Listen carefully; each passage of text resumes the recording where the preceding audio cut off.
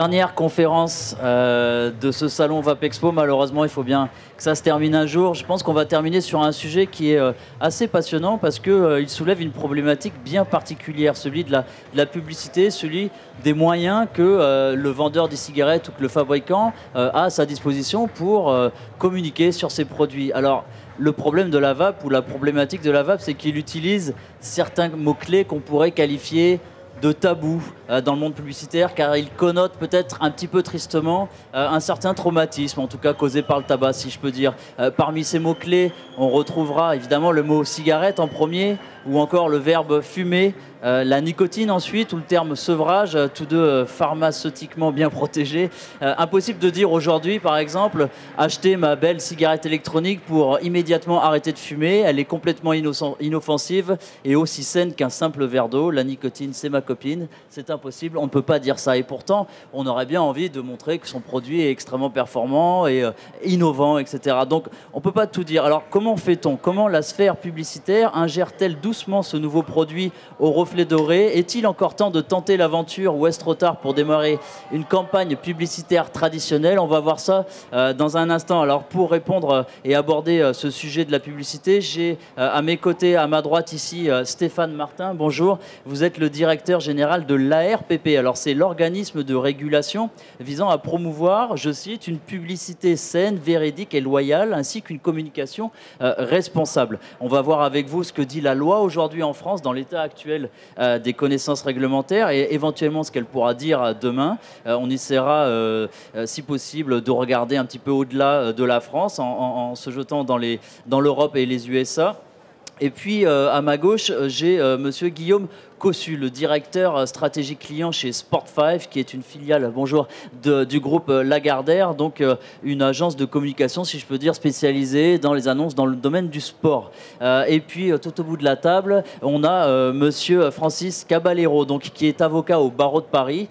Il est notamment l'avocat du CNCT et du réseau de distribution des cigarettes Clopinette. Il il, essaiera de rebondir un peu sur ce cadre réglementaire actuel et sur son élargissement futur. Euh, avant de vraiment entamer les choses de manière concrète, j'aimerais qu'on regarde une petite vidéo qui va euh, de suite nous plonger euh, dans le monde de la publicité. On part aux États-Unis.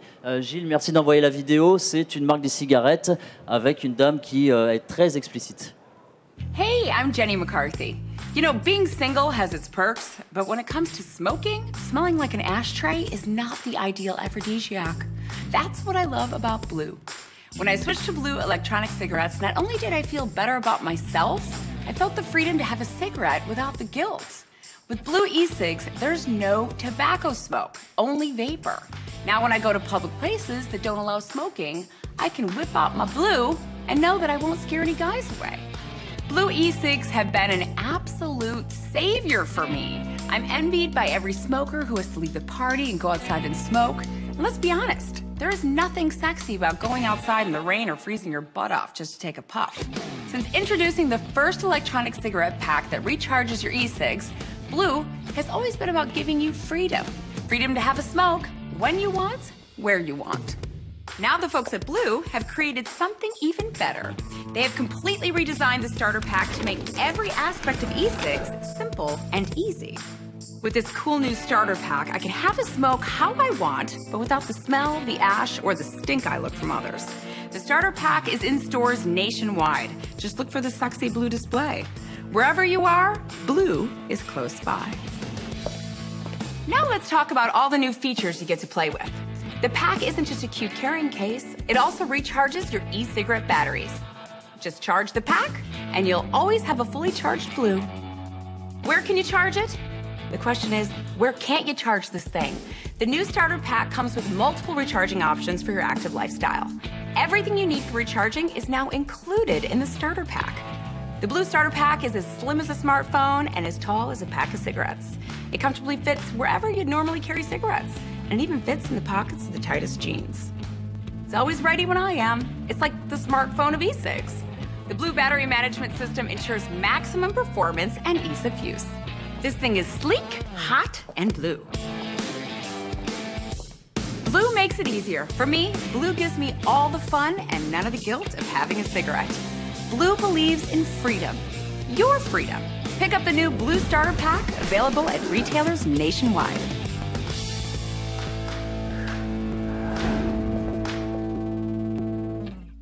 Monsieur Martin, on frôle avec la limite ici ou pas c'est là où justement, dans quand un nouveau marché apparaît, on voit que chaque pays se cherche un peu, euh, ce qui est le cas euh, typiquement aux États-Unis, où euh, clairement, en tout cas les professionnels en France et en Europe ne s'autorisent pas et n'ont pas voulu justement aller aussi loin dans, dans l'expression et de flirter, comme on le voit, dans tous les termes d'ailleurs, que l'on voit avec justement ce que l'on a toujours voulu, c'est-à-dire éviter l'assimilation avec du tabac la manière de, on va le voir, hein, la gestuelle, enfin tout ce que euh, cette jeune dame a voulu faire a toujours été en tout cas écarté dès le départ ici par les professionnels. Vous avez cité publicité responsable, mais c'est les professionnels eux-mêmes qui ont sont dit on va se fixer nous-mêmes nos propres limites avant que d'autres le fassent.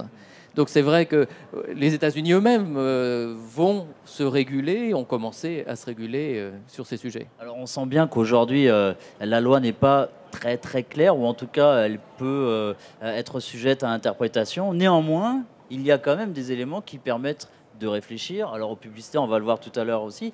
Euh, quels sont-ils ces éléments Dans quel cadre évolue-t-on aujourd'hui? Quelqu'un qui veut faire de la publicité pour les cigarettes, alors en France, en Europe ou aux États-Unis, euh, quel est l'environnement qui s'offre à lui aujourd'hui? Alors, comme c'est toujours des, textes jamais très, drôles, on va, on va faire un peu de lecture, euh, et ça sera plus simple même pour la traduction.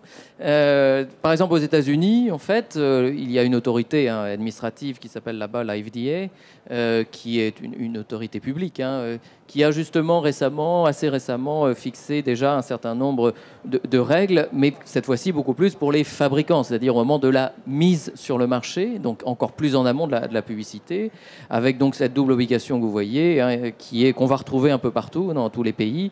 L'interdiction de vente des produits aux mineurs. Euh, là, c'est tout. En l'occurrence, elle ne l'était pas, ce qui pose pas de problème.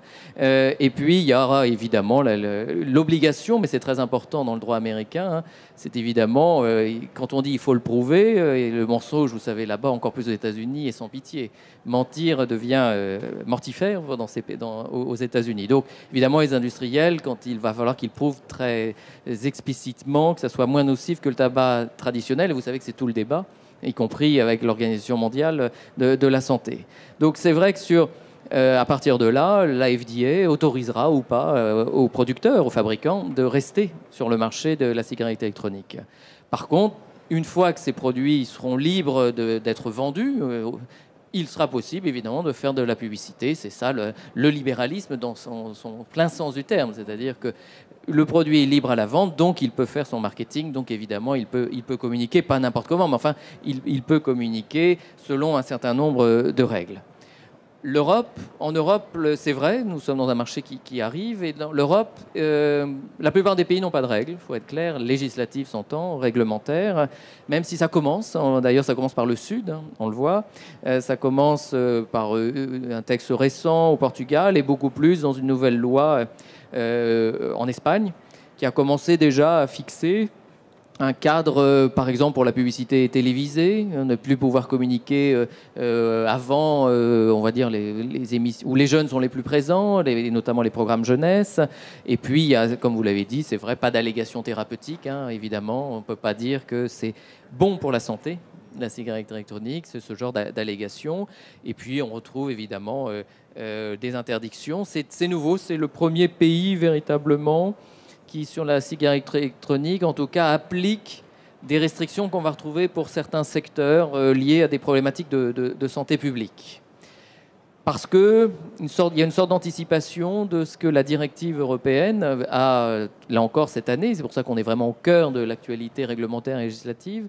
La directive européenne vient d'être adoptée, une directive qui s'appelle la directive tabac, une réactualisation d'une directive, euh, qui a, euh, ça y est, acté, mais pas encore transposer dans chaque pays, puisque vous savez que chaque pays doit transposer. Chaque pays a deux ans pour transposer, c'est-à-dire au plus tard en mai 2016, il y aura une interdiction de toute publicité à destination du grand public pour les cigarettes électroniques contenant de la nicotine.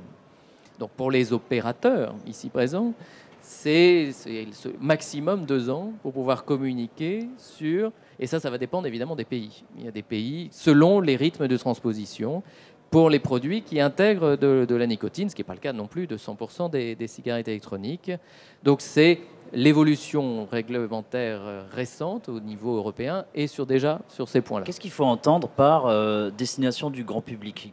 Quel type de publicité ça cible? Alors on imagine là, il y a la télévision, ok, mais euh, si je, je sais pas, j'évoque par exemple des sites internet, j'évoque des campagnes radio, j'ai vendu du sponsoring, on va voir ça tout à l'heure. C'est tout ce type de, communication. La différence qui est faite, et, et, Maître le pourra le rappeler, c'est qu'il y a, vous savez qu'il y, a une presse professionnelle hein, destinée qu'aux professionnels. Bien souvent, c'est souvent ça qui est visé, euh, c'est-à-dire que c'est déjà le cas pour la loi E20 pour euh, le, tabac. Le tabac est interdit de toute publicité, sauf dans les revues très spécialisées destinées au buralisme, par exemple. Voilà, ça c'est une, communication dite B2B, euh, une destination professionnelle. La directive ne vise pas ça, elle vise à destination des, consommateurs et elle permettra euh, toujours la possibilité, dans un salon par exemple professionnel comme ici, à condition qu'il ne soit pas ouvert au, grand public, il sera possible voilà, d'avoir des communications euh, euh, destinées aux professionnels, aux revendeurs, aux distributeurs par exemple. Voilà ce que la, directive vient d'être adoptée. Hein. Donc quand on dit directive, ça veut dire que chaque pays, dont évidemment la France, a adopté et le, et le transposé. Pour autant, euh, en France actuellement, là, en 2014, où il faut continuer à se développer, à créer son, marché, il faut avoir en tête qu'il n'y a pas de disposition réglementaire nulle part qui véritablement évoque la communication des cigarettes électroniques. Hein. Euh, donc on va être vraiment dans le cadre de l'autodiscipline dont, vous avais parlé, qui est, qui est l'ARP en l'occurrence, qui s'appelait le BVP hein, il n'y a, pas si longtemps. On est vraiment dans des problématiques cette fois-ci, où le marché va s'autoréguler, c'est-à-dire va se fixer ses propres limites, parce que la publicité est donc pleinement envisageable encore en France aujourd'hui, et elle le sera euh, sous certaines limites une fois qu'il y aura la, directive européenne dont on a parlé. Vous pensez que l'industrie de l'e-cigarette, telle que vous pouvez l'apercevoir aujourd'hui, a justement une bonne capacité d'autodiscipline, ou euh, finalement elle fait euh, office de mauvais élève non, justement, elle, euh, puisque ça fait, euh, ça fait déjà plus de trois ans qu'à l'ARP, nous conseillons et nous aidons des professionnels euh, du secteur à communiquer. Alors, forcément en télévision, parce que depuis toujours en France, il y a toujours eu un avis systématique avant diffusion que l'ARP donne, donc avant le BVP. donc forcément, toutes les publicités télévisées, nous les voyons avant et donc nous aidons les professionnels. Et c'est depuis 2011, nous voyons des, des films publicitaires pour de la cigarette électronique. Alors c'est vrai, pas forcément sur toutes les chaînes, mais au moins, euh, au moins sur une chaîne et ça suffit pour passer chez nous. Et pour les autres médias, bien souvent, les autres supports nous interrogent, nous les conseillons, ou c'est vrai parfois, après diffusion, nous faisons une petite information pédagogique nous l'avons fait euh, récemment sur, euh, suite à un emailing hein, qui, était, qui argumentait beaucoup trop sur des arguments santé, par exemple, ou des analogies avec le tabac, qui sont ce que les professionnels se sont interdits de faire. Alors, pour autant, euh, ce qu'il faut savoir, c'est que sur la cigarette électronique, vous l'avez dit en introduction, il y, a évidemment ce qui est aux limites de, des substituts c'est ce qu'on appelle les, codes du tabac, c'est ça. Hein, c'est le, champ lexical du tabac, euh, fumée, et, même du sevrage. Et même du sevrage, en fait. Il y, a, il y a un champ un peu médicalisé, si j'ose dire, c'est celui du sevrage tabagique, qui est bien normé. Hein. Il y a une agence française, hein, on a parlé de l'agence américaine, mais il y a une, autorité, l'Agence nationale de santé et des, médicaments, qui a, il n'y a pas si longtemps, enfin le 30 mai 2011, donc vous voyez, ils, ont pris, ils avaient bien anticipé la problématique, a vraiment euh, fait la ligne voilà, du fait de la composition du fait des revendications, ce qui est la limite de ce qui est le sevrage tabagique. C'est possible, hein, c'est possible, mais il faut passer dans ces cas-là par le processus d'autorisation de mise sur le marché, mmh. comme si vous étiez aussi un médicament, par exemple. Mmh. Donc là encore, il y a un autre champ. Si votre produit cible la notion de sevrage tabagique, bah, il faut passer par l'autorité de santé, qui s'appelait AFSAPS avant et qui s'appelle maintenant. ANSM. Donc déjà, il y a les produits nicotine, les produits sevrage tabagique, euh, qui sont déjà peu ou moins euh, et puis il y a justement tout le reste. Tout le reste, déjà, ce qui est encadré, c'est la vente aux mineurs, comme vous le savez. C'est assez récent. Hein.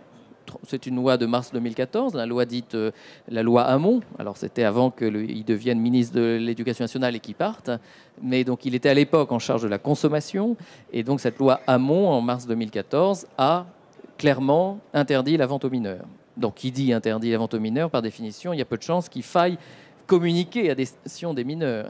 si la vente leur est interdite, c'est une, évidemment une, faute de, communiquer et de vouloir communiquer auprès d'eux ou de montrer des mineurs dans des, communications. Qu'est-ce qui se passe si on enfreint ce cadre? Là, là, on commence à rentrer après dans des problématiques, euh, tout simplement, c'est codifié. Euh, après, les autorités euh, compétentes sont tout amènes. donc la DGCCRF, hein, typiquement, mm, mm, bien mm. évidemment, dans le cadre de PV, hein, que les, peuvent faire dans, les boutiques, par exemple. Puis après, c'est tout un processus législatif. Mais là, je, pense que laisserai M. Caballero éventuellement des, couvrir ça, éventuellement ce champ. Donc ce qui reste, parce qu'évidemment, il y a, euh, là j'ai l'impression de refermer le, tunnel, mais ce qui reste, c'est qu'il y a quand même possibilité évidemment de communiquer. Et, euh, beaucoup se sont posé la question. Ce qui reste, c'est qu'il y a aussi une autre loi quand même. C'est la loi dont vous parliez, c'est la loi euh, E20, donc c'est une loi qui a plus de 20 ans, hein, qui donc cette loi qui interdit strictement toute publicité du tabac, vous le savez.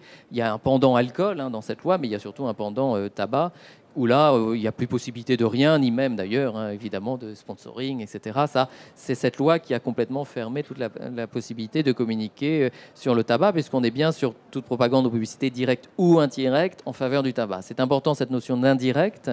C'est pour ça qu'on ne peut pas utiliser dans ces communications goût tabac, etc. Parce que là, même pour une cigarette électronique, tout simplement parce que on rentre dans le champ cette fois-ci de, de, la loi E20. Donc là encore, c'est une interdiction et je le rappelle que c'est une loi pénale. Hein, c'est important, hein, c'est une loi pénale. C'est-à-dire que si vous voulez, oui, sauf à ce que vous vouliez mettre votre patron euh, avec un casier judiciaire, allez-y, mais sinon, c'est une loi pénale. Donc c'est extrêmement important. Et puis surtout, c'est toute la chaîne qui est concernée. C'est pas simplement que l'entreprise, hein. c'est le média qui est évidemment concerné euh, par cela. Et donc c'est pour ça que tout le monde est encore plus vigilant pour une loi de nature euh, pénale, celle-ci. Donc tout ce qui est rapport avec du tabac, c'est-à-dire en contradiction avec la loi E20, n'est pas non plus possible. Voilà. Donc, c'est pour ça qu'il faut bien rester dans son champ propre, qui est qu'il n'est pas acceptable, ce que les professionnels se sont fixés comme guide pratique, hein, ce que l'on a mis en ligne, hein, là aussi c'est évidemment public hein, comme information, pour aider la profession. Voilà. Tout ce qui est donc s'adressant à des mineurs, non. Ou, montrant des mineurs, non. Bon, ça, c'est lié à l'interdiction dont on a parlé tout à l'heure. Tout ce qui est évidemment, et c'est pour ça que la Blue ne serait pas possible. Elle était clairement dans une gestuelle très associée à la cigarette, la manière de tenir la cigarette, la manière de, fumer, euh, la manière, euh, le, packaging lui-même est, évidemment fait une analogie très proche du tabac. C'est évidemment à, éviter euh, très fortement. C'est toute la, présentation ambiguë hein, que, l'on a vu dans, ce spot-là. Et puis il y a aussi les arguments de comparaison Hein, avec le tabac, il faut éviter, déjà parce que scientifiquement, on n'a pas les bases solides. La preuve, avec même si elle est contestée et contestable, l'étude de, l'Organisation mondiale de la santé, publiée récemment sur ce sujet. Donc tout ce qui est sans danger, etc., est aussi à, éviter. Tous ces termes extrêmes, alors je sais que c'est de la pub, on aime bien l'allégorie et aller droit au but, mais tous les termes un peu trop euh, extrêmes sont à éviter. Et, puis tout ce qui est évidemment le fumé euh, dont on a parlé. Mais par contre, il est possible. Il est possible, et c'est pour ça qu'il y a des publicités, heureusement, qui peuvent euh, encore exister. Il est possible d'utiliser donc les termes dont on a parlé, c'est-à-dire vraiment dire, euh, alors euh, vapoter, vraiment utiliser les termes liés à ce nouveau produit, qui est un produit qui est autorisé d'être sur le marché, cigarette électronique, en faisant une présentation neutre, euh, mais ça ne veut pas dire sans créativité, juste euh, utiliser le, vocabulaire euh, lié vraiment à vapoter, lié, lié spécifiquement à ça. On peut utiliser évidemment tous les parfums, y compris des parfums dont on pourrait dire qu'ils seront plutôt attirants pour des mineurs. Hein. Il n'y a pas d'interdiction à ça, parce que de toute façon, on peut être de grands enfants et aussi aimer. Ça fait le sujet d'un débat aux États-Unis. Hein, oui, bah, c'est pour ça que la, FDA a fait, a fait ce débat-là, mais finalement l'a accepté. Euh, et nos amis britanniques aussi euh, vont publier prochainement un, code de cigarette électronique où il y aura aussi cette possibilité. C'est pas parce que parce qu'on peut même à, 35 ans, à 40 ans euh, avoir une envie de fraise. Enfin donc c'est pas c'est pas une difficulté, c'est pas lié qu'aux enfants cela. Puis bien sûr tout ce qui est évidemment les coordonnées, l'adresse de la, la, boutique, etc. Tout ce qui est une information de nature publicitaire et commerciale classique. Donc en résumé vigilance, mais la profession a déjà fixé des règles qui permettent de communiquer, c'est ce qu'il faut aussi retenir. D'accord. Euh, alors, c'est assez, euh, assez bluffant parce que, évidemment, le premier, la première chose qui frappe, c'est que on le sait tous, et moi, le premier, euh, j'ai été fumeur pendant 18 ans. Euh, j'ai arrêté de fumer grâce à ce, produit. Euh, autour de moi, quand on me demande est-ce que ça fonctionne, je dis oui. Et je suis, on, est, on est à 1,5 million en France à avoir fait ça. Donc, pour le professionnel qui veut vendre des produits similaires à celui que j'utilise ou il l'a peut-être vendu, c'est impossible de véhiculer cette information dans ses arguments commerciaux. C'est le premier point. Donc, il faut bah, tourner autour du pot, euh, clairement, euh, dire, euh, je sais pas moi, une autre liberté s'ouvre à vous, un, nouveau, un nouvel air. C'est pour ça qu'il y a des agences, il y a des agences pour vous aider On à, va voir à, trouver la créativité. Mais en, tout cas, l'idée, c'est que justement, il faut, il, faut, il faut creuser son marché comme étant son vrai marché, qui est en parallèle, ne pas essayer de, de, de, mordre, d'autant plus que rien n'est établi. Vous savez que c'est toute la querelle scientifique, et c'est évidemment pas les, publicitaires qui vont régler ce qui est déjà encore une querelle scientifique et qui va durer encore un bout de temps. Alors, mais euh, si euh, par extension, on a vu euh, propagande indirecte ou directe pour le tabac, c'était la loi E20, si je me rappelle bien, à partir du moment où la cigarette électronique est touchée par cette loi, si ça va être le cas plus tard, en tout cas c'est le cas aujourd'hui, on va peut-être voir ça tout à l'heure, mais ce qui veut dire que si demain dans une colonne d'un magazine, dans une tribune, euh, même un scientifique, s'il s'exprime publiquement en disant effectivement la cigarette électronique euh, c'est une bonne chose, c'est une réduction des risques,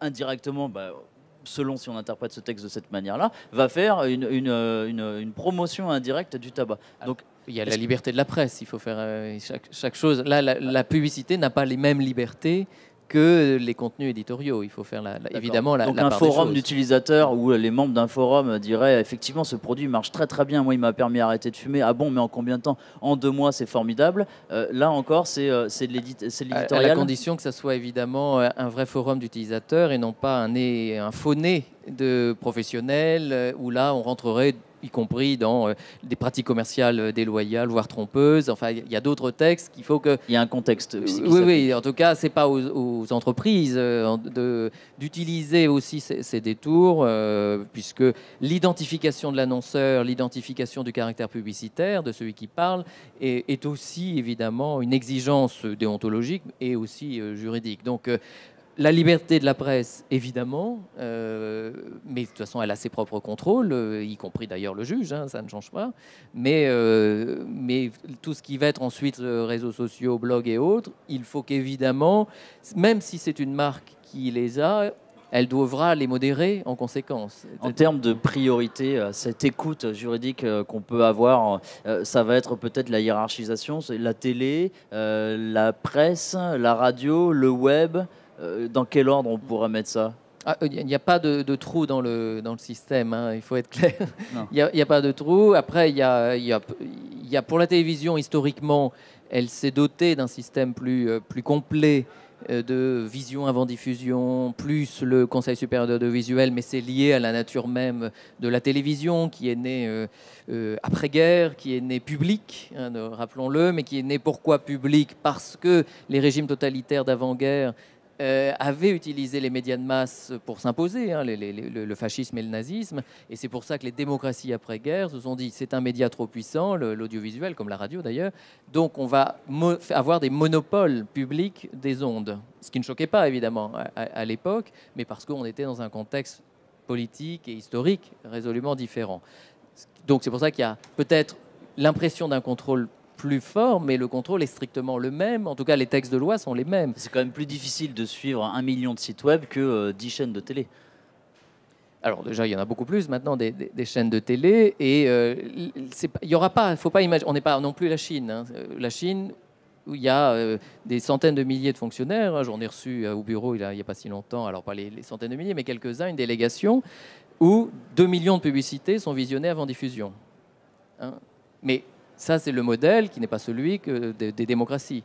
C'est-à-dire, nous ne sommes pas dans un modèle où nous souhaitons un contrôle, nous sommes dans un modèle de responsabilité. C'est-à-dire que euh, c'est pas le pas vu, pas pris, il ne faut pas non plus trop y compter. Parce qu'il y a peut-être, il n'y a pas une autorité pour surveiller, il y a 60 millions de consommateurs pour surveiller. C'est On ça. les connaît bien ici dans le Voilà. monde de la vape. ok. Alors, euh, ce cadre étant défini, je vais me tourner maintenant vers euh, Guillaume Cossou, euh, directeur stratégie client chez Sport5. Donc, on va parler maintenant du sport parce que euh, c'est une thématique euh, qui est a priori assez privilégiée par euh, les annonceurs d'e-cigarettes. On a eu écho dernièrement d'un- d'une marque française qui a fait appel à un sportif de, renom pour faire valoir sa marque. Guillaume, qu'est-ce que vous pouvez nous dire dans cet environnement-là, finalement, quand un client arrive chez vous et vous dit bon ben voilà, j'ai un super produit qui aide à arrêter de fumer et en plus de ça, il ressemble à une cigarette, c'est pour ça qu'il est efficace. J'ai envie de le mettre euh, euh, sur les voitures de sport, euh, sur les ballons de football et au stade de France.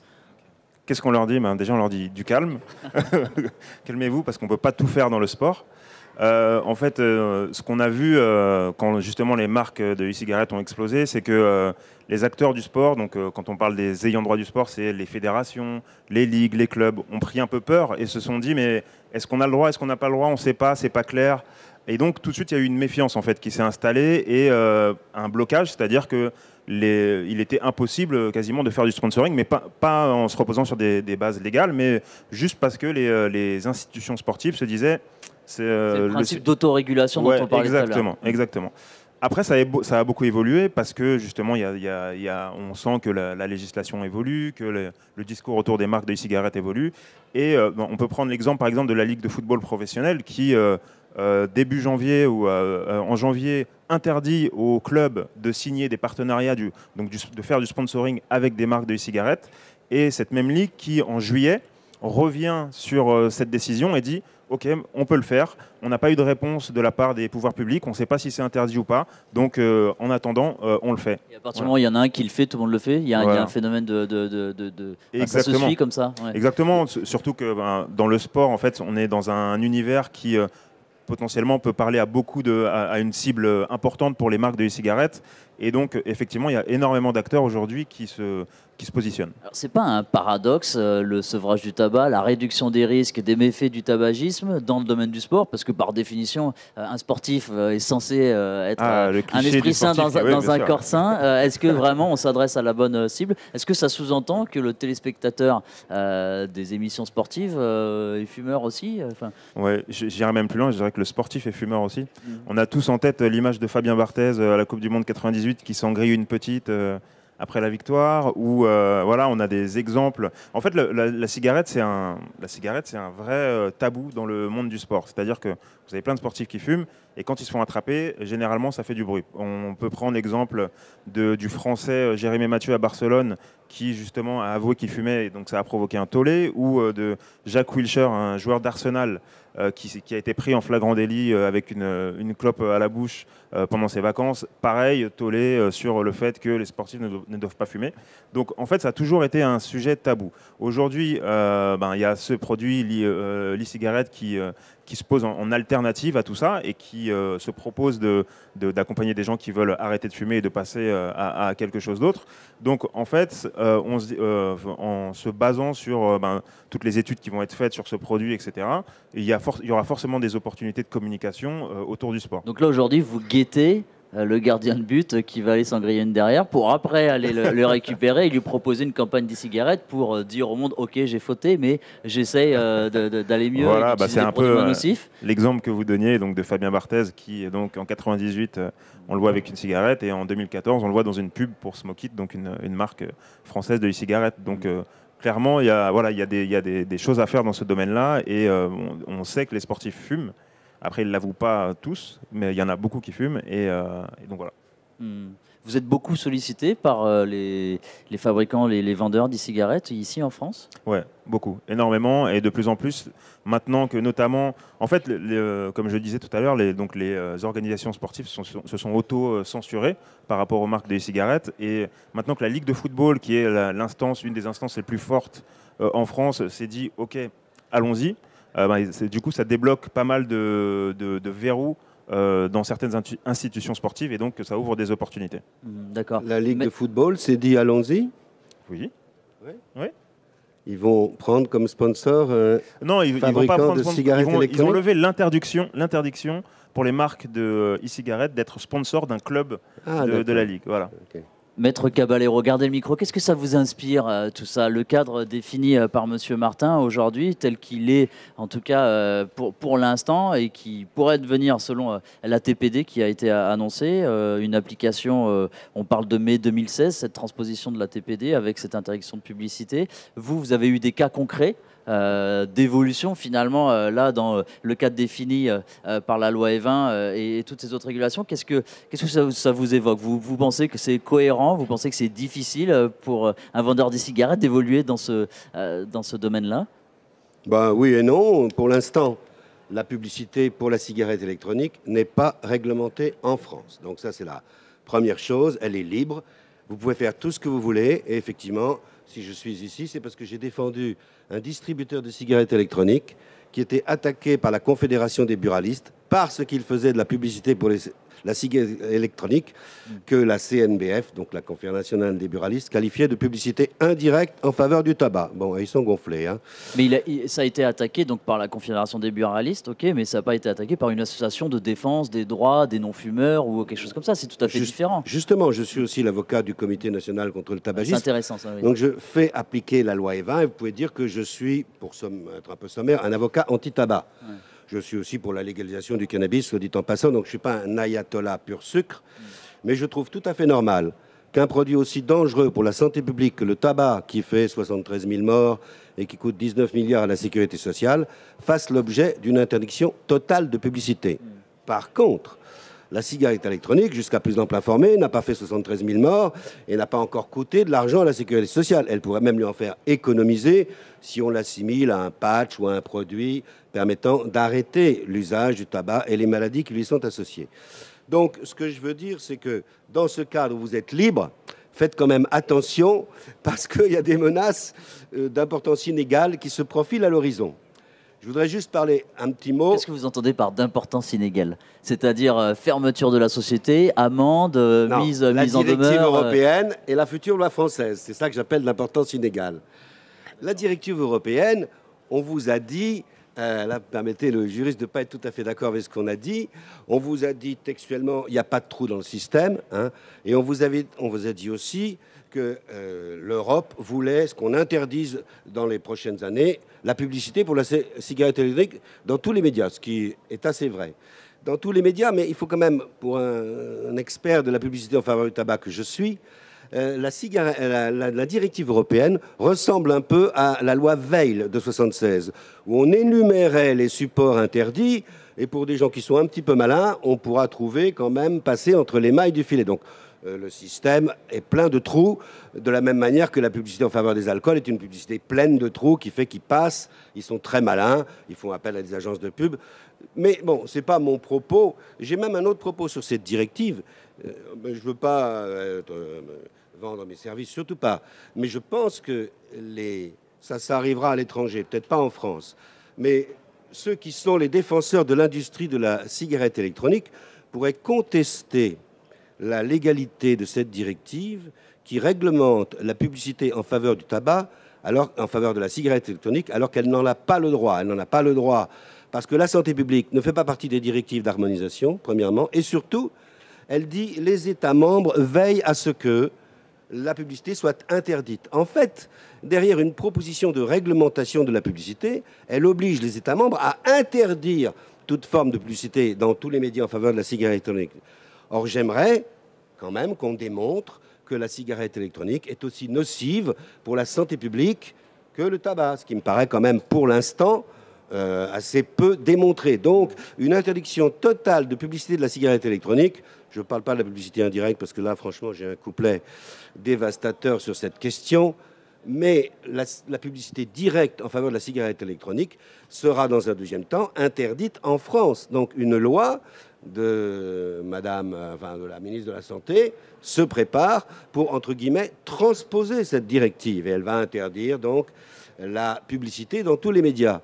Euh, je répète que cette loi sera moins méchante qu'il n'y paraît, même si elle sera un peu méchante, dans la mesure où, par exemple, elle n'interdira pas la publicité indirecte, malgré les termes du texte, en faveur de la cigarette électronique. Il faut dire que la publicité indirecte en faveur du tabac, c'est un truc particulièrement vicieux et que les gens ne connaissent pas, que même euh, Oui, concrètement, Monsieur Dotzenberg ne connaît pas.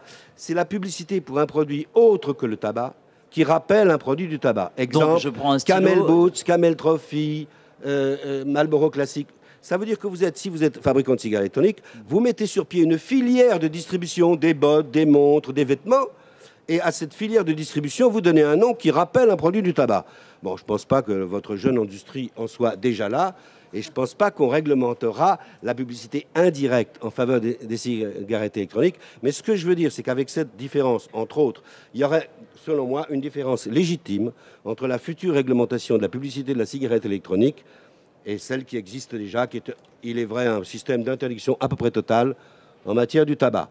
Ceci dit, euh, là aussi, la loi dépendra de votre attitude pendant cette période intermédiaire. Je me souviens, je suis un vieux de la vieille, hein, que on a interdit dans, l'affichage la publicité en faveur des alcools parce qu'il y avait des grandes affiches, ma chemise pour une bière. Donc, quand vous abusez de votre liberté, euh, D'ailleurs, euh, la publicité indirecte en faveur du tabac, c'était les procédés des fabricants américains qui créent ces réseaux. Donc, quand vous abusez d'une liberté, il ne faut pas s'étonner si après le législateur vous tape dessus. Donc, faites attention. Vous êtes libre de faire ce que je veux, mais c'est vrai, écoutez les conseils, euh, même si je ne suis pas d'accord à 100%. Avec lui, je suis aussi un autre désaccord assez important. Et je vais terminer mon intervention sur un autre un peu sujet. Parce que je trouve que euh, la cigarette électronique, vous vous, vous vous défendez très mal. J'entends vous vous défendez très mal face à l'attaque des buralistes qui veulent deux choses se réserver le commerce des cigarettes électroniques parce qu'ils sont titulaires d'un monopole de distribution des produits de tabac, interdire toute publicité dans le réseau des cigarettes électroniques, et en fait, ils veulent votre destruction. Et euh, jusqu'ici, euh, je prétends que cette action, pour moi, c'est une horreur euh, juridique, économique et sanitaire. Et dans les procès qu'ils ont eu en face de mon client, eh bien, euh, ils ont pris des pâtés. Et toute la question, c'est s'ils prendront une pâtée simple, une pâtée magistrale ou une pâtée monumentale. Cette demande expliquerai la d'exclusivité, euh, différence entre ces trois termes. Donc, ce que je veux dire, c'est que c'est une action qui n'a aucune chance de prospérer. Ouais, ouais. Donc, les fabricants de tabac ne pourront pas faire interdire le commerce des cigarettes électroniques dans le circuit parallèle.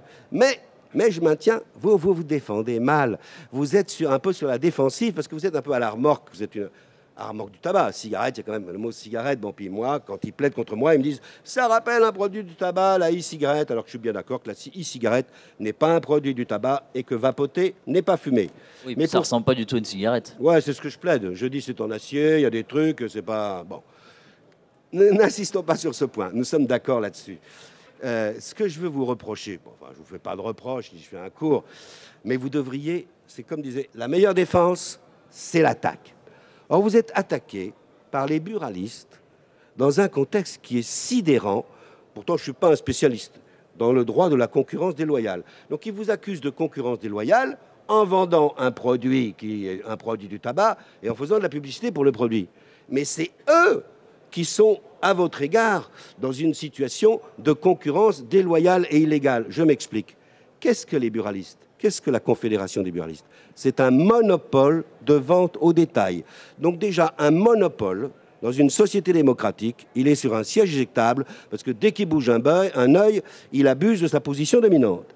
Et ce que je pense, c'est que vous devriez saisir, il y a plusieurs choses que vous pourriez saisir, hein, la Cour européenne, mais restons français, vous devriez saisir euh, la commission de la concurrence, qui est spécialiste de ces questions de concurrence loyale et déloyale, et qui vous donnerait sans aucun doute raison face aux buralistes, comme elle a donné raison euh, contre les, les taxis, les VTC et contre euh, la distribution dans les pharmacies des médicaments. Il est clair que les règles de la concurrence font que c'est quelqu'un qui abuse de son monopole, le cartel des buralistes, pour essayer de capter les marchés qui sont voisins du sien, donc le marché connexe de la cigarette électronique. Et pour terminer, je dirais qu'ils sont assez coutumiers du fait. Ils ont aussi un monopole de fait, comme vous le savez, de la distribution des jeux.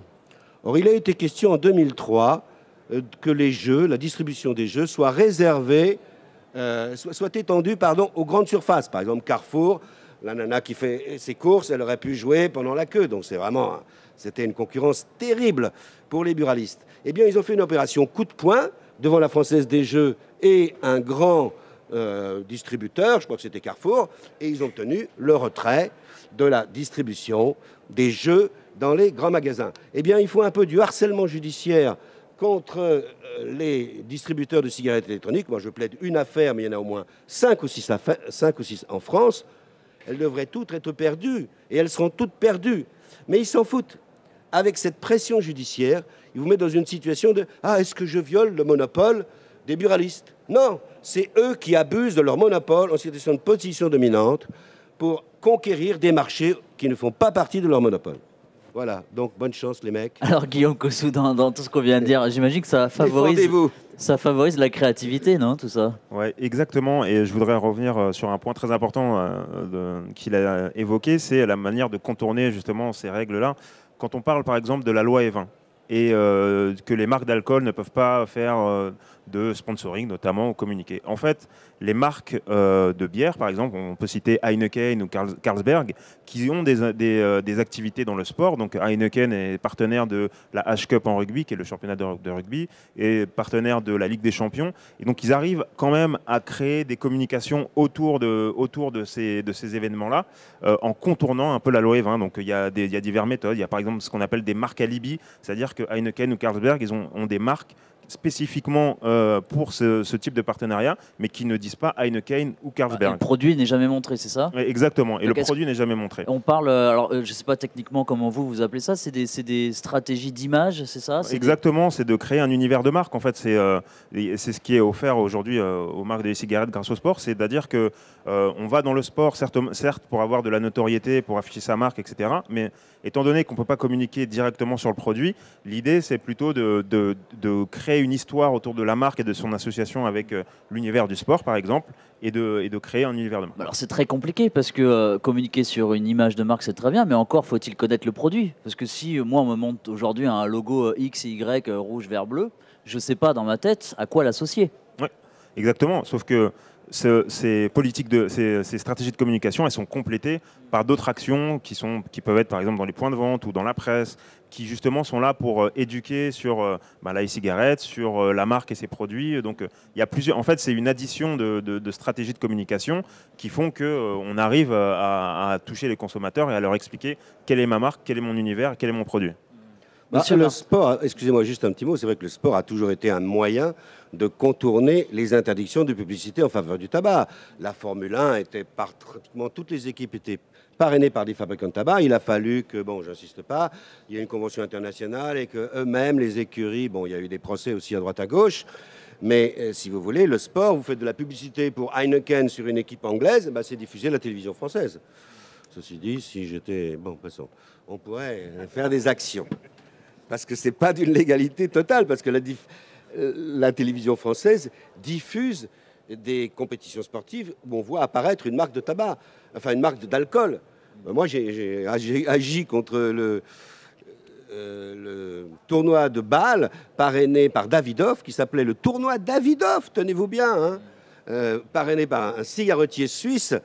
Et on est allé, on est dans la cour de cassation dans cette affaire. Mais en gros, j'ai perdu, hein, parce qu'ils ont dit eh ben, en Suisse, c'est pas interdit de faire du parrainage. Donc, si la télévision française, on diffuse euh, la marque Davidoff euh, avec Federer et tout le monde au, bord du, terrain, pas de problème. Donc, vous voyez, c'est des, questions qui sont euh, sérieuses, les questions du sport. Alors, maître, est-ce que vous diriez que je vous ai brandi tout à l'heure hein, mon vaporisateur et vous voyez bien que j'utilise un terme bien particulier, c'est le mot vaporisateur parce que j'ai été éduqué pour m'éloigner des codes du tabac. J'ai été informé que plus on utilise et qu'on se rapproche des codes du tabac, cigarette électronique, je ne fume pas, je vape, c'est un des termes sur lesquels on insiste beaucoup au niveau de la communauté et du commerce. Est-ce que euh, à partir du moment où on s'éloigne de plus en plus de la forme, des couleurs, de la gestuelle, on a parlé du pouce et l'index, c'est quand même très détaillé, euh, et qu'on arrive à vraiment, euh, dans, dans, tout le champ lexical, visuel, graphique, etc., on s'éloigne du tabac, et mieux ça sera pour l'industrie de l'e-cigarette. Mais, mais, mieux encore, moi je trouve que, encore une fois, vous devriez contre-attaquer. Euh, la cigarette électronique présente des qualités, par exemple, prenons un sujet très simple, l'environnement. Dans euh, la publicité là, pour la Blue, euh, la Blue e-cigarette, qui est mignonne comme tout, eh bien, j'ai remarqué qu'elle disait Moi, avec ma e-cigarette, j'ai pas de cendrier. Non seulement il n'y a pas de cendrier, mais il n'y a pas de feu de forêt, il n'y a pas de mégots sur les plages. Et donc, pour moi, s'il est interdit de faire de la publicité pour inciter les gens à consommer de la cigarette électronique, ça je suis assez d'accord avec ce principe, surtout que la nicotine c'est quand même une drogue. En revanche, faire de l'information objective sur des qualités peu discutables de la cigarette électronique, c'est-à-dire par exemple ses qualités à l'égard de l'environnement, mais pas seulement. Alors la santé, c'est vrai, je suis d'accord, euh, vous n'avez pas... Quand pendant 30 ans, on aura fumé des cigarettes électroniques sans avoir de maladie, là, vous pourrez dire, il faut savoir que la cigarette a été introduite dans les, au XVIe siècle et que c'est qu'en 1960 qu'on s'est rendu compte qu'elle donnait le cancer. Bon, maintenant, on va un peu plus vite quand même. Alors, il y a une question études, intéressante à, à ce sujet. Euh, euh, cas concret, alors est-ce que je- peut-être je fais un amalgame avec les États-Unis, mais peut-on être accusé dans 10 ans, dans 20 ans, dans 30 ans euh, d'avoir euh, empoisonné les gens? Avec des cigarettes électroniques? Ah ouais, bien sûr. Si quelqu'un meurt dans 30 ans en disant j'ai fumé pendant 30 ans des cigarettes électroniques et on m'a pas informé des dangers, même si j'ai perdu l'affaire que j'ai plaidé pour euh, un fumeur du tabac contre la CETA, et on m'a dit non, non, la cigarette est un produit fiscal, donc vous n'avez pas à vous plaindre du défaut d'information du consommateur de ce produit. Il est là pour faire rentrer euh, les euh, recettes de l'État. Donc il y a aussi des aspects On m'a dit le contraire. On m'a qui dit qu'à- échappe à l'avocat normal que je suis. La cigarette est un produit fiscal. Et moi, je dis non, non, non, non, c'est un produit de consommation courante, il est fumé.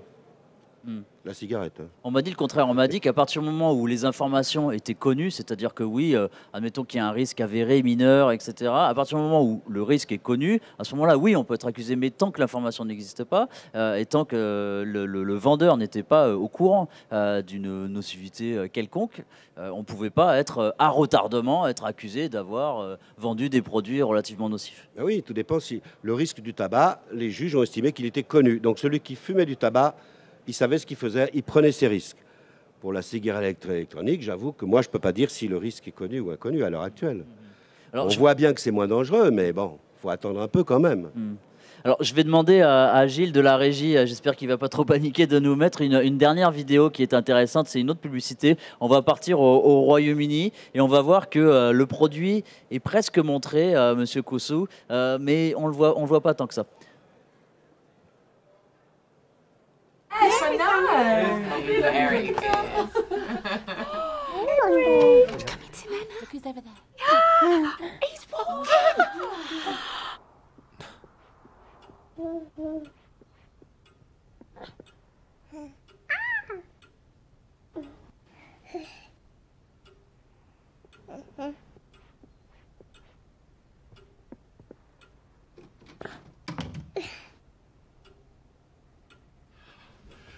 So,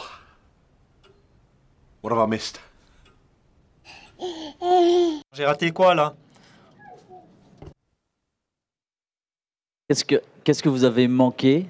Euh, c'est, c'est la question qui, qui pose. Qu'est-ce que j'ai manqué? Je suis sorti, on a compris qu'il sortait fumer de cigarette parce qu'il a tapé sur la, la poche de sa chemise. On n'a pas vu le paquet de cigarettes. Euh, on a c'est vraiment euh, du, du- du- du- c'est très très fin comme communication. Qu'est-ce que vous pouvez euh, nous en dire, euh, Maître Caballero, de ça Ah, c'est du troisième degré. Moi, j'ai du mal à. Les publicitaires me, me scotchent, hein, là. Il faut Ah, mais comprendre non, mais- évidemment ce que vous avez compris. Moi, j'ai pas bien compris, mais bon, si je la vois dix fois, je comprendrai peut-être. hein. Non, non, bah, c'est typiquement le- le- la créativité britannique est évidemment Ouais, reconnue. hein, là-dessus. elle, elle, elle- elle- elle résonne bien de toute façon avec l'interdiction euh, européenne évidemment du tabac qui est beaucoup, beaucoup plus forte et, euh, et, et c'est assez. euh, c'est- c'est- non, c'est assez bien vu. Par contre, on est là que sur du ce qu'on appelle le, le branding, c'est-à-dire que là, c'est que de la notoriété de e-lights. hein. Il y a, il y a- on a vaguement le produit, on sait ce que c'est, mais là, ils sont vraiment dans une communication où ils inscrivent la marque dans un univers familial, les valeurs sont plutôt euh, sympathiques. Là, on est vraiment dans, euh, dans des valeurs euh, de, famille, parce qu'à vrai dire, il aurait pu rester, évidemment, vapoter et voir donc son petit-fils. euh, Alors on pousse le, vraiment là, dans, dans ce cas concret, on pousse le téléspectateur à faire appel euh, à son cerveau, à réfléchir. Ah mince, que vient-il de faire? C'est passé très très vite, etc. Olivier Cossou, ça vous inspire quoi, ce, ce type de Guillaume Cossou, pardon, ce, ce type de publicité? Euh, non, mais c'est génial de créativité. Ça montre que même quand il y a un cadre légal strict, on peut toujours euh, euh, passer euh, par les côtés pour évoquer un, un sujet, pour évoquer une marque. Donc euh, c'est bien joué et c'est euh, c'est clairement peut-être ce qui attend les marques de cigarettes électroniques. Oui, mais en les- France, ça passerait pas ce genre de truc. Ne serait-ce qu'il y, aurait une marque de cigarettes électroniques et les marques seront forcément un mode de communication commerciale qui sera réglementé. Et je rappelle qu'aux États-Unis, c'est quand même le pays du free speech. C'est l'amendement numéro 1 de la Constitution.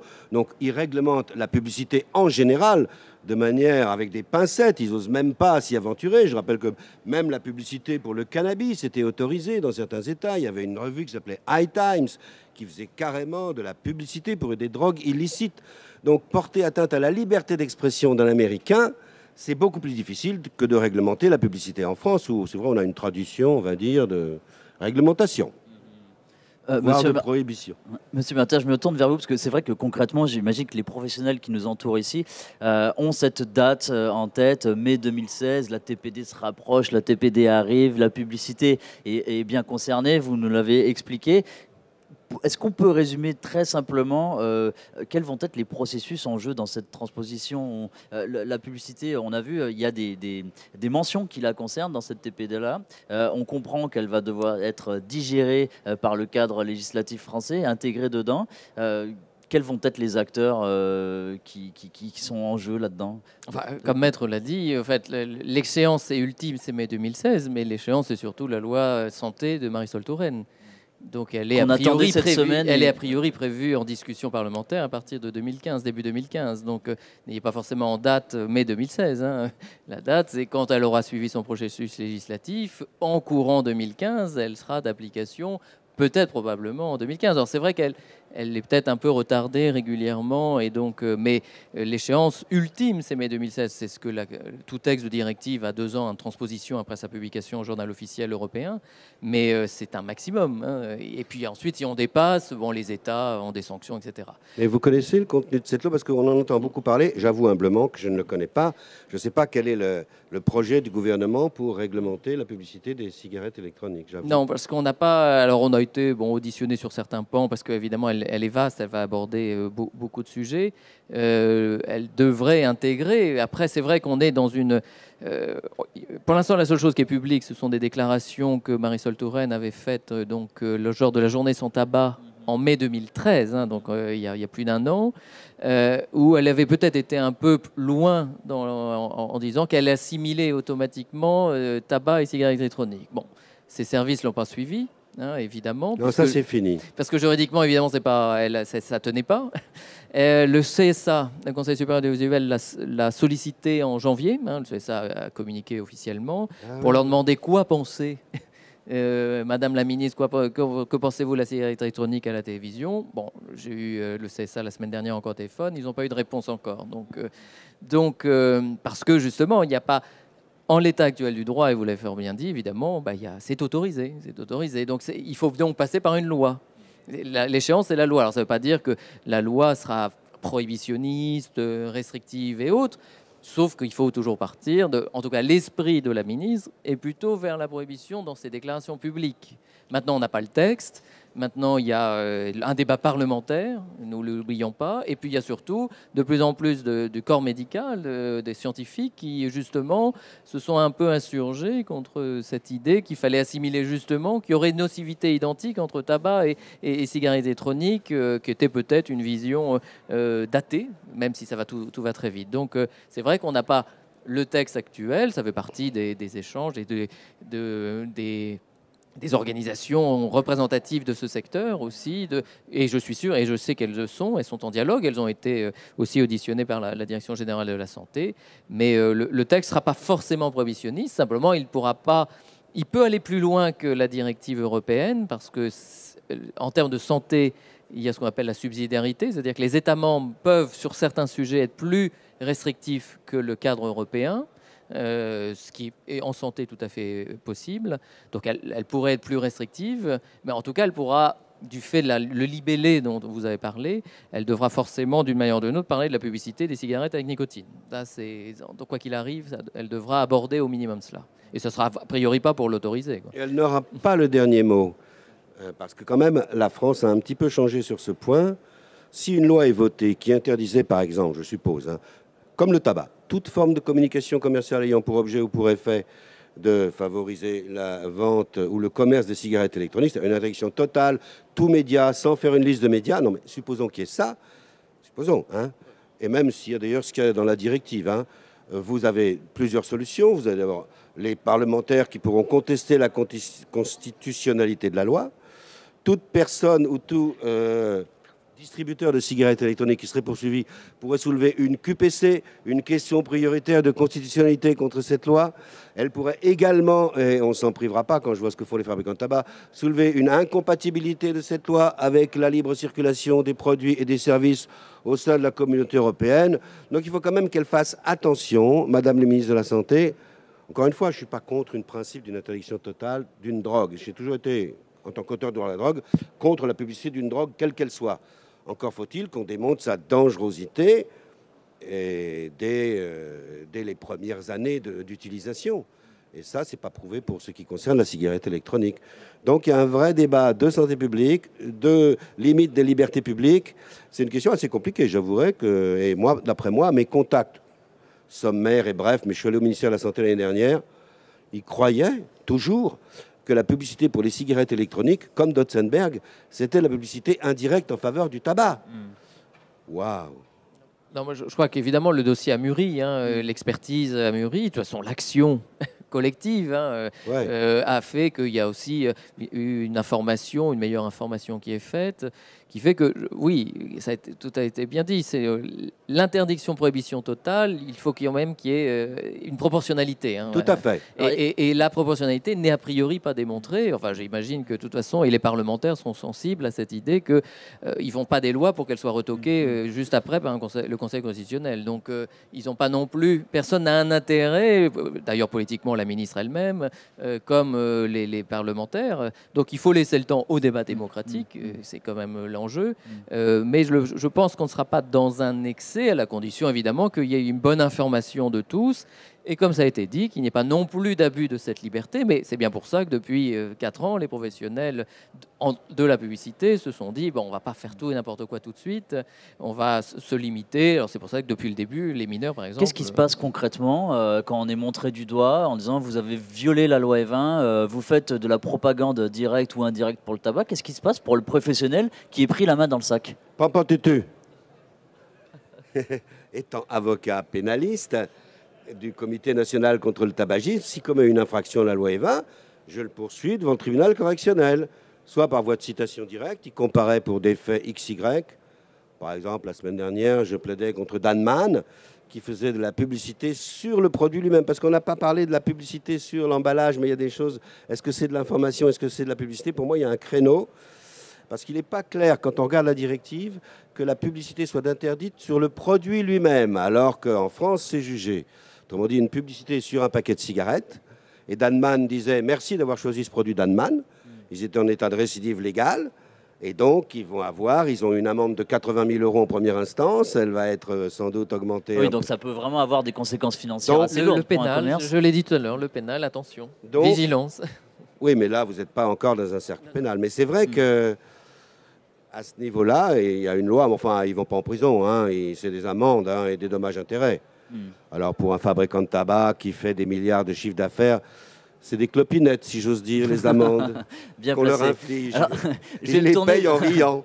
Ils disent Oh, the French, 20,000 dollars, they're kidding. Enfin bon, vous voyez le genre, quoi. Alors je vais me tourner vers le public. On a la chance euh, ici euh, d'avoir donc euh, le directeur général de la RPP, un avocat au barreau de, de Paris, un publiciste. J'imagine qu'il y a, on est entouré de professionnels. Est-ce que quelqu'un aurait une question avant de, de- de conclure, de terminer cette conférence euh, à, à poser ici dans la- dans l'assemblée? Petite question. Alors, je vois quand même, même s'il ne va pas poser sa question, je vais quand même poser la question pour lui. Euh, je connais quelqu'un qui a un, un magazine euh, destiné aux professionnels euh, de l'e-cigarette, dans lequel il y a de la publicité. Là, on est typiquement dans le cadre, on va dire, autorisé, entre guillemets, la communication B2B que vous avez mentionné tout à l'heure. Ah, de toute façon, pour euh, retenez que la pu- la publicité est autorisée partout, à destination du grand public comme des professionnels. Mm. La, la- la spécificité dont on a parlé tout à l'heure, c'était pour euh, le- le- le- la, la publicité tabac, entre guillemets, ou ce que pourrait être, c'est pour ça qu'on est encore dans le débat, euh, euh, après-débat parlementaire, ce que pourrait être des restrictions, où généralement les textes sont rédigés de telle manière à ce que, évidemment, ça ne peut pas empêcher la bonne information des professionnels euh, et, et les magazines et donc les fabricants qui communiquent dans ces magazines ou évidemment les sites internet euh, ont, ont un lien spécifique. Le tout, c'est qu'il ne faut pas qu'il soit accessible, enfin on le sait bien, euh, au, au public. Donc c'est, enfin quoique sur les sites internet tabac, c'est toujours évidemment très, très- une spécificité. Donc pour l'instant, c'est possible partout. Donc, euh, le le B2B comme le B2C, comme on dit, donc euh, vis-à-vis des professionnels ou vis-à-vis des consommateurs, c'est possible dans les limites dont on a parlé, avec la vigilance euh, et la responsabilité, qui, mais qui à tout le monde. Je sais, pour en rencontrer souvent ou en avoir souvent des, opérateurs qui veulent communiquer dans, les médias, voilà, personne ne veut. il peut y avoir éventuellement quelqu'un qui dit take the money and run, mais, mais c'est pas a priori, on fait pas un business pour s'arrêter dans un an. Quoi. Donc, Bien entendu. ouais. Ouais, je voudrais dire quand même un truc à propos de cette publicité dans la presse écrite et autres. C'est que vous avez un concurrent, euh, je parle le, la filière de l'e-cigarette, qui est euh, le, le syndicat des buralistes. Parce que là, j'ai la revue des tabacs de ce mois-ci. La euh, première page est consacrée au marché de la cigarette électronique. Et que dit, euh, il y a un long article avec plein de gens qui font de la publicité, et qui disent, le marché de la e-cigarette est en plein essor en France depuis deux ans. Mais les buralistes n'enregistrent qu'un quart des ventes, alors que les boutiques spécialisées réalisent près du deux tiers du chiffre d'affaires. Un retard de développement contre lequel le réseau lutte. Et vous avez beaucoup de publicité pour les cigarettes électroniques dans la revue des tabacs. Donc, vous voyez, quand ils parlent de publicité indirecte en faveur du tabac, ils font rire mon cheval. hein, parce qu'ils font Mais là, on la est dans un magazine, indirecte euh, en faveur du tabac. C'est une presse B2B, là, on est, euh, c'est business to business. Ouais, mais- C'est pas quelque chose qu'on vend dans les kiosques aux particuliers. Oui, mais il- il- pas du tout. Il y a à la télévision, j'ai vu une publicité pour Nous, la cigarette électronique vendue chez les buralistes. Et si vous êtes en concurrence sur un marché libre de la publicité, avec, euh, ils ont quand même euh, 15, 15 milliards d'euros de chiffre d'affaires, ils sont 26 000, ils sont une profession organisée, puissante, qui a accès aux médias, qui adhère les politiques. Monsieur Montredon, il suffit qu'il bouge un cil pour qu'on lui tende un micro. Hein. Donc, euh, c'est pour ça que je trouve qu'il n'y a pas vraiment de défenseurs de la cigarette électronique qui se dressent contre les buralistes en disant ils exagèrent d'une part et ils veulent s'approprier un marché qui devrait être à la libre concurrence, puisque pour moi, vous êtes une industrie jeune, en pleine expansion, qui mérite de vivre. Même s'il faut réglementer sans doute votre publicité, ça je suis d'accord. Vous voyez Donc vous avez des concurrents. Non, mais effectivement, Méfiez-vous on- de vos concurrents, les buralistes. Quoi. C'est un, un volet qu'on va évidemment que la profession, à mon avis, est bien consciente qu'il faut qu'elle rajoute à son panel de structuration euh, au niveau scientifique. Je sais que beaucoup de choses se font euh, au niveau technique et euh, au niveau juridique aussi. Il y a des efforts qui doivent être faits. Je pense que le message est, bien passé. Merci messieurs d'avoir répondu à nos questions et puis d'avoir animé ce débat avec avec brio. On va terminer bah, donc cette dernière conférence de la journée. J'imagine que dans quelques minutes, on va réussir à regrouper les membres de l'organisation du Salon Vap Expo pour leur rendre un hommage euh, pour leur excellent travail. Merci à toutes euh, et à toutes pour vos attentions. Euh, je rappelle quand même que sur YouTube, la chaîne du Vap Expo est disponible et on peut retrouver l'ensemble des conférences également traduites pour les anglophones. Voilà, donc à très vite sur les réseaux sociaux. Merci beaucoup et à très bientôt à l'année prochaine.